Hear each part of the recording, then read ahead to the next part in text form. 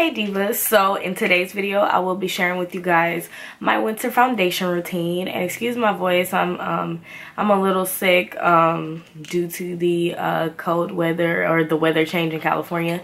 But anyways I wanted to come and share with you guys my winter foundation routine. If you guys don't know or you're new to my channel I always try and use different products. Well I always use different products when the season change um, simply because when the season change, um, things change with your skin and things like that. So I did go ahead and use the Fashion Fair um, foundation sticks and these are more creamy. Um, this is something that I would not use like in the summer and spring months simply because um, I'm an oily girl and yeah this will be a hot mess in the summertime but however for the winter time um, I tend to get a little drier so I can use these cream sticks and I wanted to mention that they are absolutely amazing as well as a concealer. If you're looking for a full coverage type of foundation, this is definitely it. I would definitely recommend it. But yeah, divas, I'm not going to make this intro too long. If you guys are interested in my winter foundation routine, then go ahead and stay tuned. Okay divas, so first I'm going to start off by moisturizing my lips. Then I'm going to move on to hydrating my face. I'm using the Mario Badescu Rose Water to go ahead and hydrate my face and this will be acting as my moisturizer as well. Next I'm going to be taking this primer and I'm going to be applying that onto my face. I'm using almost like my whole hand to apply it because I like to let it get tacky on the back of my hand and then I like to just go ahead and take distribute that all over my face and then just go ahead and rub it in and just blend it in really really well.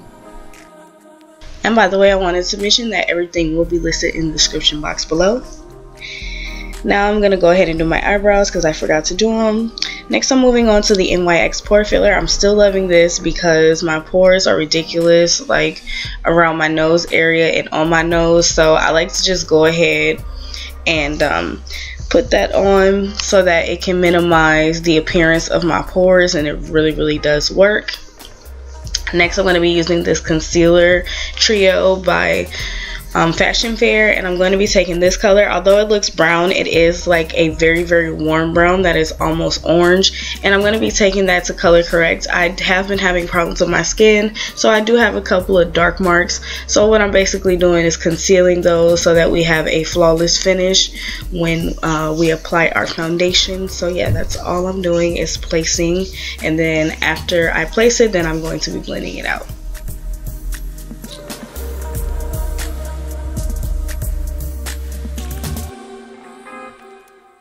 And I will also be color correcting on my neck because I have terrible, terrible dark marks on my neck because um, I'm not too sure why. Like, I always just have dark marks on my neck. Like, it's just terrible. Like, I don't know if they'll ever go away, but yeah, I'm just color correcting that.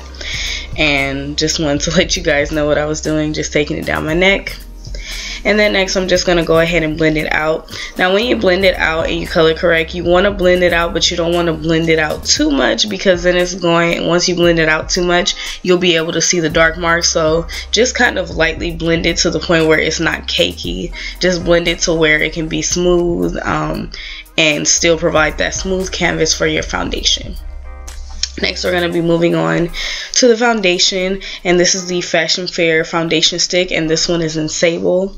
And I just wanted to tell you that just in case, even though it'll be listed in the description box below, just in case you're my skin tone and you wanted to know what color you should get. So I'm just going to be applying that on my face, and you guys please bear with my voice, like I'm getting a little bit sick because of this crazy weather. But yeah, now I'm just going to be placing that all over my face. This foundation is very full coverage, so keep that in mind if you're going to go and use it, or if you don't like full coverage, you don't have to use this.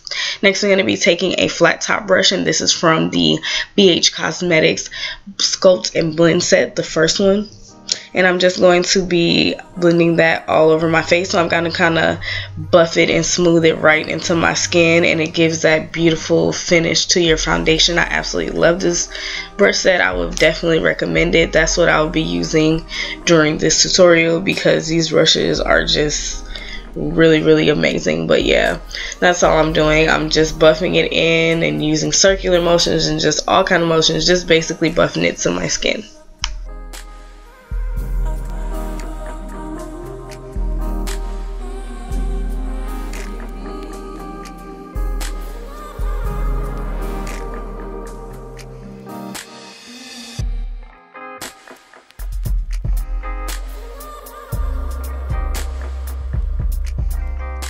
Okay, so I'm going to be going back to that concealer trio and I'm going to be taking this color. This color is going to be used to highlight.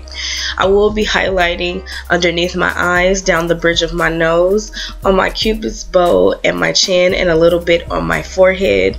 Um, I like to highlight those areas because those are the areas that I like to give light to and bring forward. Um, it does vary on everybody though, like everybody um, has different face shapes and things like that. I feel like this is what best complements my face. So I think that's the one important thing that everybody should explain when they do these tutorials on when you're highlighting. You should highlight the areas that you want to bring forward. And it might ne not necessarily be the same ones that I like to bring forward, but yeah, I'm just sharing, you know, what I want to bring forward. I'm also going to be highlighting underneath my brow bone because that is a part of my foundation routine.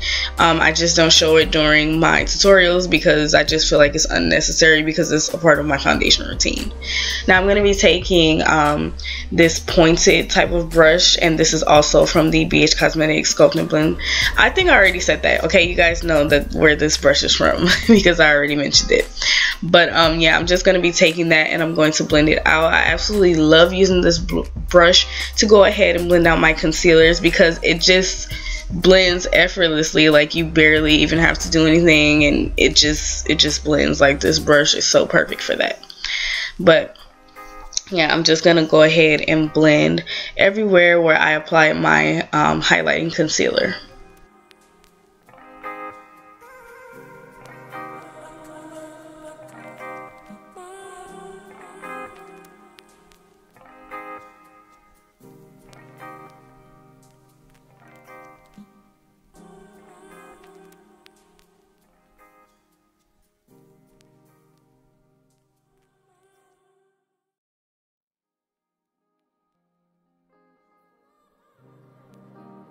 Next it's time for us to move on to contour. I'll be using another foundation stick by Fashion Fair and this one is in Teak. So I'm going to be highlighting the hollows of my cheeks, down the bridge of my nose, and right like underneath my chin and on my forehead I don't know if I mentioned that but yeah on my forehead as well um, these are the areas that I want to appear a little bit slimmer not because I don't like my face I just like to do that when I'm applying makeup okay? So that is where I am applying my contour and like I said this is what I feel best complements my face. I like to do the hollows of my cheeks because I feel like it gives my face a more slimmer appearance. Basically everywhere I contour it gives my face a slimmer appearance and that's why I like to go ahead and contour it.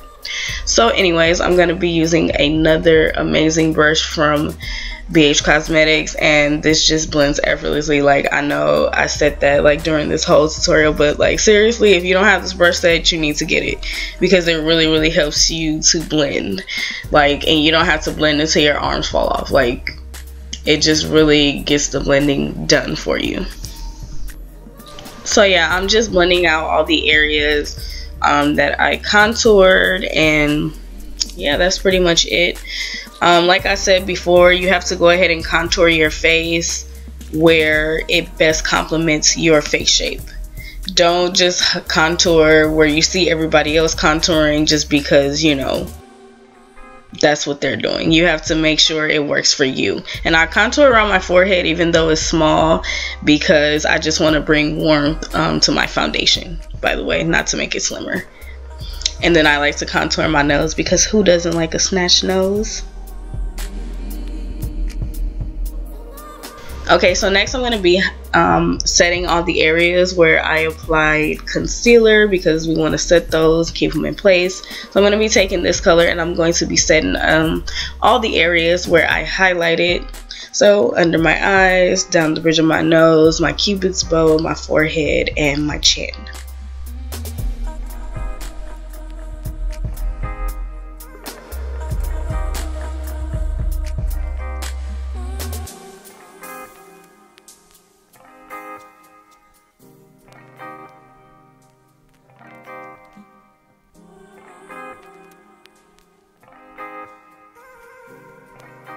Okay, so next it's time for me to set my um, my contour, my contour, get it together.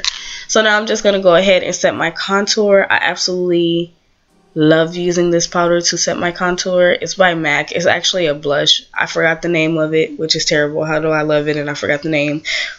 But of course, it will be listed in the description box below. But I just absolutely been loving this. Like, this might be a year round favorite. But anywho i'm just setting all those areas and then next i'm going to be applying this mac mineralized skin finish in dark deepest or deepest dark and I'm just going to be using that to go ahead and set my face. I absolutely love this to set my face. Like it just it's just amazing. Like I just I can't express how much I love it. Like I just really do. It's like my favorite setting powder for all over my face. Okay divas, so once you set your face with your finishing powder, this makeup look is pretty much complete. I want to thank you lovely divas so so much for watching. Hope you enjoyed and found it easy to follow. Be sure to go ahead and comment, like, and subscribe for more videos. And I will see you lovely divas in my next video. Bye!